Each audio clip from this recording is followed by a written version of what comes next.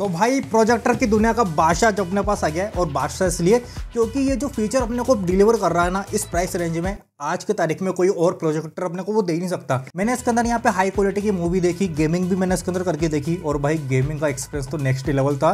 Presentation भी मैंने इसके अंदर चला के देखी कि प्रेजेंटेशन में कैसा अपने को आउटपुट मिलेगा और वाईफाई के थ्रू इंटरनेट भी मैंने इसके अंदर चलाया। और ये सारी चीज़ें इस प्रोजेक्टर में बहुत तगड़ी चली यार, क्योंकि इसके अंदर अपने को चार हज़ार लूमेंस की यहाँ पे ब्राइटनेस मिल रही है। तो उससे जो इमेज की यहाँ पे क्वालिटी होती है ना, अगर आप कोई भी मूवी देख रहे हो वीडियो देख रहे हो या गेमिंग ही कर रहे हो उसके अंदर तो भाई वो क्वालिटी अपने को बहुत ही शार्प और क्लियर मिलती है। क्योंकि एक प्रोजेक्टर का सबसे मेन पार्ट उसका लैंप होता है, और लैंप जितना ज़्यादा यहाँ पे बेटर होगा, जितनी उसमें ब्राइटनेस अपने को मिलेगी, उतनी अच्छी क्वालिटी भी अपने को ऑब्वियसली मिलेगी। तो जब आप इस प्रोजेक्टर को ऑर्डर करोगे ना तो इस टाइप का आपको यहाँ पे बॉक्स मिलेगा। ये एक एच डी प्रोजेक्टर है, जो स्मार्ट फीचर के साथ आ रहा है। और डब्बे में से सबसे पहले अपने को चमचमाता अपना यहाँ पे प्रोजेक्टर मिलेगा, और इसकी बिल्ड क्वालिटी भाई सॉलिड है, और लुक तो भाई पूछो ही मत। मैं तो इसका दीवाना हो गया।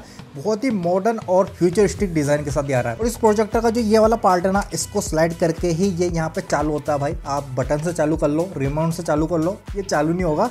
जब तक आप इस वाला पार्ट को यहाँ पे लेफ़्ट में स्वाइप नहीं करते हैं। इसके अलावा बॉक्स में से अपने को एक पावर केबल मिल जाएगी, जिसकी लेंथ भी अच्छी खासी लंबी है। एक रिमोट कंट्रोल मिल जाएगा, जिसमें बेसिक से नेविगेशन बटन है। इसके अलावा बॉक्स में से अपने को एक एबी की केबल भी मिलेगी, और इसके अंदर जो एबी का केबल अपने को मिल रही है ना भाई, वो इनपुट को सपोर्ट करती है। मतलब इसके थ्रू अपन सेटअप बॉक्स को या एंड्रॉइड बॉक्स आते हैं ना, उसको इसमें कनेक्ट करके उसका आउटपुट भी ले सकते हैं। तो अगर आपके घर में टाटा स्काई वीडियोकॉन या डिश टी आप यूज़ कर रहे हो।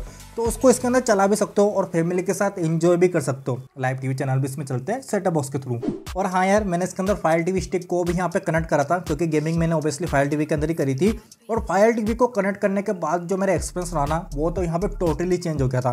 तो मैं तो ये रिकमेंड करूँगा कि अगर आप इस प्रोजेक्ट को खरीदते हो तो फायर टीवी भी साथ में खरीद ही लेना, फिर तो यार आपके मज़े ही मज़े इसके अलावा बॉक्स में से अपने को क्लिनिक फाइबर का एक क्लॉथ मिलेगा, और भाई ये जो क्लॉथ अपने को मिल रहा है ना लेंस को क्लीन करने का, ये बड़े बड़े जो पच्चीस से तीस के प्रोजेक्टर आते हैं ना, उनके अंदर भी नहीं मिलता। उसके अलावा इसके अंदर अपने को एक एचडीएमआई पोर्ट मिल जाएगा। इसके अलावा अपने को एक ऑडियो जेक मिल जाएगा। अगर आपको होम थिएटर को कनेक्ट करना होना इसमें, जो कि करना ही पड़ेगा भाई। इसके अंदर वैसे स्पीकर तो अपने को मिल रहे हैं, लेकिन उनकी स्पीकर की क्वालिटी यहाँ पे डिसेंट है। ना तो ज़्यादा लाउड है, ना ज़्यादा बेकार है। अगर अकेले में आप इस प्रोजेक्टर को यूज़ कर रहे हो सही चीज़ देखने के लिए। तो ऑब्वियसली इसका स्पीकर आपको काम आ जाएगा, लेकिन फैमिली के साथ अगर आप इस प्रोजेक्टर को यूज़ करोगे, या फिर कोई बड़ी मूवी देखोगे ना तो होम थिएटर को आपको यहाँ पे कनेक्ट करना ही पड़ेगा। इसके अलावा अपने को यहाँ पे थ्री आर का एक पोर्ट मिल जाएगा सेटअप बॉक्स कनेक्ट करने के लिए, और दो यूएसबी के पोर्ट मिलेंगे। तो पेन ड्राइव के थ्रू अपन इसके अंदर मूवी शो म्यूज़िक और घर के जो भी एल्बम या फ़ोटोज़ होते हैं ना, वो भी अपन इसके अंदर देख सकते हैं। तो अगर आपके पास इंटरनेट है तो ऑब्वियसली इसके इंटरनेट वाले फीचर को आप यूज़ कर सकते हो, और अगर आपके पास इंटरनेट नहीं है तो पेन ड्राइव के थ्रू आप मूवी को डाउनलोड करके इसमें देख भी सकते हो, या फैमिली के फ़ोटोज़ भी देख सकते हो। और या तो मैं सच सच बताऊँ ना तो इस प्रोजेक्टर का एक पार्ट तो मुझे बहुत तसु लगा। ये वाला जो अपने को पार्ट मिल रहा है ना भाई, ये एक मिनट इसको ओपन कर लेता हूँ। ये अपना फ़िल्टर का काम करता है भाई। जितनी भी यहाँ पे डस्ट होती है ना, उसको इसके अंदर जाने से रोकता है और उसको अपन पानी से धो भी सकते हैं। तो भाई, ये पार्ट तो मुझे धसू लगा इस प्रोजेक्टर का। तो एक तरफा काम कर रहा है कंपनी वालों ने इस पार्ट को एड करके। और राइट साइड में अपने को पावर का बोर्ड मिल जाएगा और दो यहाँ पे अपने को गेयर मिलेंगे व्हाइट और ब्लैक कलर के। यार इनको ना गेयर नहीं बोलते, इनको कुछ और बोलते हैं, पर वो नाम अभी मुझे याद नहीं आ रहा। लेकिन इसके थ्रू अपन इसकी प्रोजेक्शन साइज़ के फोकस को यहाँ पे एडजस्ट कर सकते हैं। अब मैंने आपको पहले भी बताया था कि इस प्रोजेक्टर के अंदर अपने को चार हज़ार लूमियंस के यहाँ पे ब्राइटनेस मिलती है। तो इसका जो प्रोजेक्शन का साइज़ है ना भाई, वो यहाँ पे 140 इंच तक एक्सटेंड हो जाता है। तो आप इसको मिनिमम 40 इंच और मैक्सिमम 140 इंच तक इसको यूज़ कर सकते हो। मेरे पास जो यहाँ पे व्हाइट दीवार है अगेंस्ट तो वो पड़ोसी की, लेकिन हमारा काम आ गई इसको टेस्ट करने में। तो उसके अंदर मैंने इसको जब यूज़ करके देखा ना तो ऑब्वियसली वो एक इंच से तो बड़ी थी।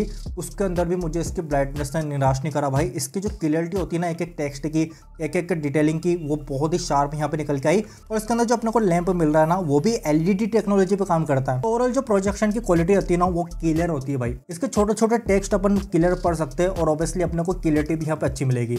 ये चीज़ ना देखो कैमरा में इतना आपको पता चल नहीं पाएगा, क्योंकि कैमरे में मैं यहाँ पे आईएसओ को बूस्ट कर रहा हूँ, ताकि रिकॉर्ड अच्छे से हो बट ऑब्वियसली जब आप इसको बाय करके चलाओगे ना तो आपको फ़र्क पता चल जाएगा। अब हमेशा की तरह ज्ञान के बाद में मैं आपको बता देता हूँ। देखो, आप किसी भी टाइप का अगर प्रोजेक्ट को यहाँ पे बाय करते हो ना तो सबसे पहले एक चीज़ वहाँ पे नोटिस कर लेना कि उसके अंदर अपने को कितनी लैंप लाइफ यहाँ पे मिल रही है। क्योंकि ऑब्वियसली एक प्रोजेक्टर का सबसे इंपॉर्टेंट पार्ट उसका लैंप होता है भाई। जिसे अपन यहाँ पे लेंस भी बोलते हैं कई बार तो इस प्रोजेक्टर के अंदर अपने को तीस हज़ार घंटे का लैंप लाइफ मिल रहा है। मतलब अगर आप एक दिन में इसको दस घंटे भी यूज़ करते हो ना तो ये आपके आठ ऐसे नौ साल आई थिंक चल जाना चाहिए।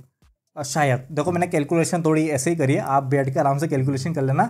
बट इसके अंदर अपने को तीस हज़ार घंटे का लैंप लाइफ मिल रहा है। तो आप खुद सोचो कि कितने घंटे अपन इसको यूज़ कर सकते हैं। सॉरी कितने घंटे नहीं, कितने साल इसको अपन यहाँ पे यूज़ कर सकते हैं। मैंने इसके अंदर ऑब्वियसली यहाँ पे कुछ गेम भी खेल के देखे थे फायर टीवी को कनेक्ट करने के बाद। और गेम खेलने का एक्सपीरियंस तो भाई मतलब मैं बता नहीं सकता। मतलब आप खुद ही सोचो ना कि 140 इंच की स्क्रीन पर अगर आप बैठ के गेम खेल रहे हो तो आपका एक्सपीरियंस किस लेवल पे जाएगा? लेकिन मैंने ना फायर टीवी को इसमें कनेक्ट तो कर लिया। लेकिन एक चीज़ मैंने बाद में नोटिस करी भाई, कि इसके अंदर फायर टीवी को जब मैं कनेक्ट करता हूँ ना तो इसके जस्ट नीचे वाला जो ये पार्ट है, उसमें से गर्म हवा निकलती है। तो इस वजह से मेरी फायर टीवी भयंकर गर्म हो गई थी भाई। बस यूँ मानो वो ख़राब नहीं हुई।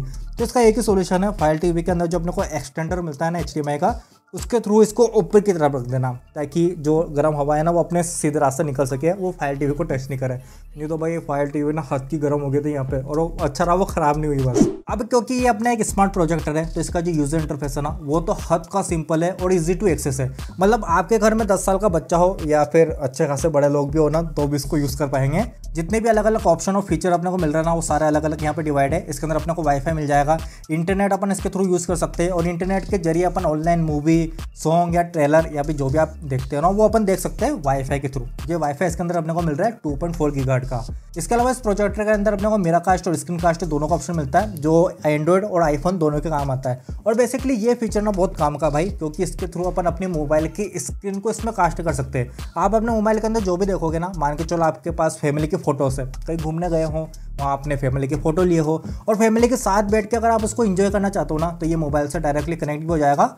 और उसके बाद आप जो भी मोबाइल के अंदर देखोगे, वो प्रोजेक्टर में आपको दिखेगा। और ये पार्ट मुझे बेस्ट लगा इस प्रोजेक्टर का। तो अगर आप यहाँ पे 40 इंच की एलईडी खरीदने की सोच रहे हो ना तो भाई उस मामले में ये आपका अच्छा खासा काम आ जाएगा। 40 इंच इसका मिनिमम प्रोजेक्शन साइज़ है, और उसको अपन 140 इंच तक भी यहाँ पे यूज़ कर सकते हैं भाई। मेरे पास जो वॉल है ना, वो 140 इंच से भी बड़ी है। और उसके अंदर मैंने इसको यूज़ करके देखा भाई। और भाई सच बता रहा हूँ, एक तरफा एक्सपीरियंस रहा मेरा तो। मतलब क्वालिटी के मामले में तगड़ा है ये। अब देखो, वैसे तो ये एक अपना एच प्रोजेक्टर है सेवन ट्वेंटी को सपोर्ट करता है, लेकिन कंपनी वालों ने ना इसके अंदर कुछ अब स्केलिंग टेक्नोलॉजी यूज़ करिए तो उसके थ्रू अगर अपन एच के थ्रू या फिर पेन ड्राइव के थ्रू कोई भी मूवी देखते हैं ना तो अपन को यहाँ पे टेन का हाईएस्ट रेजोल्यूशन का सपोर्ट भी मिल सकता है। तो जिससे जो यहाँ पे क्लियरिटी आती है ना, वो बहुत ज़्यादा इनहेंस हो जाती है और कलर भी अपने को पंचिन मिलते हैं। और गाइस ये जो अपना प्रोजेक्टर है ना, ये अभी करंट में छः हज़ार रुपये में चल रहा है तो आप डेफिनेटली इसको वन ज़ीरो वन बाज़ार से छः हज़ार रुपये में खरीद सकते हो। मैंने इस वेबसाइट के बारे में पहले भी बात कर रखी है भाई, और अगर ये सेफ़ नहीं होती तो ये प्रोजेक्टर मेरे पास आता नहीं। तो इसलिए प्रोजेक्टर मेरे पास आया है तो वेबसाइट यहाँ पे सेफ़ भी है। तो अगर आपको बाय करना हो तो लिंक मैं डिस्क्रिप्शन में दे रहा हूँ। वहाँ पे जाके एक बार चेकआउट कर लेना। तो डेफिनेटली ये रिकमेंडेड है, क्योंकि ये खुद मुझे पसंद आया। तो आप इसको बाय कर सकते हो डिस्क्रिप्शन के लिंक में जाके। वीडियो कैसे लगे मुझे कमेंट करके बताना। और अगर आप यहाँ पे कोई एलईडी यूज़ कर रहे हो तो वो भी मुझे कमेंट करके बताओ कि आप यहाँ पे चालीस इंच की एलईडी यूज़ कर रहे हो या फिफ्टी फाइव इंच की या थर्टी टू इंच की। तो जो भी आप एलईडी यूज़ कर रहे हो, मुझे कमेंट करके ज़रूर बताना। और क्या आप इस प्रोजेक्टर को खरीदना चाहोगे? एलईडी की जगह। वो तो कमेंट करना भूलना ही मत भाई। तो मैं मिलता हूँ आपसे अगली इंटरेस्ट वीडियो में, तब तक के लिए बाय